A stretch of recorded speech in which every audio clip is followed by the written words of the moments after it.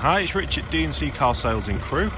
I'm just going to do you a quick walk around video of our Audi A1. I have got the car running, so you can get a bit of a feel for it. We'll walk around all the bodywork and show you the interior. Um, very, very cheap to tax these. Dead economical. Very, very reliable. Got Audi build quality, obviously. Let me just show you inside. Very, very clean and tidy. It's Got that nice colour pop-up screen in the middle.